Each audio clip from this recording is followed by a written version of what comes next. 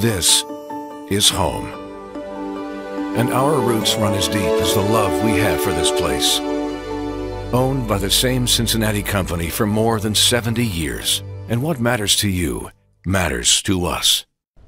This is WCPO 9 News. We thank you for choosing us. I'm Evan Millward. Here's a look at some of the top stories at this hour. The man accused of shooting and killing his wife's lover at a Sharonville drive through is now being held on $1 million bond. Anthony Holly Jr. was in court for the first time hours ago, charged with aggravated murder. According to court documents, he shot 32 year old Michael Bryce 10 times at the Rally's on East Sharon Road after learning Bryce had been intimate with his wife.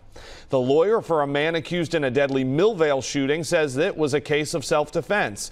25-year-old Robert McDonald is charged with murder, accused of shooting DeAngelo Amison Thursday morning at an apartment complex on Westwood Northern Boulevard.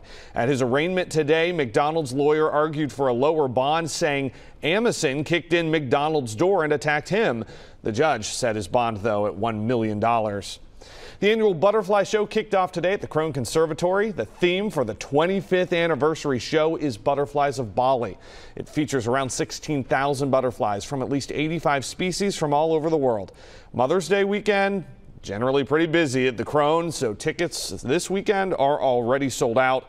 But Butterflies of Bali runs through September 6th.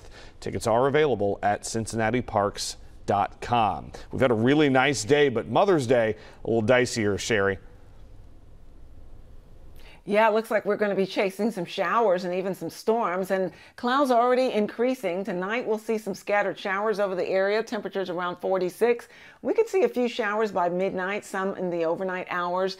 Getting up in the morning, breakfast time looks to be dry for mom, and so if you want to take her to breakfast, good idea. In the afternoon, though, not so dry. You'll be dodging showers and even the potential for a strong to severe storm as we have a marginal risk for that. In terms of those temperatures, we start in the 40s in the morning, and those temperatures get up to about 66 as we head into Mother's Day afternoon.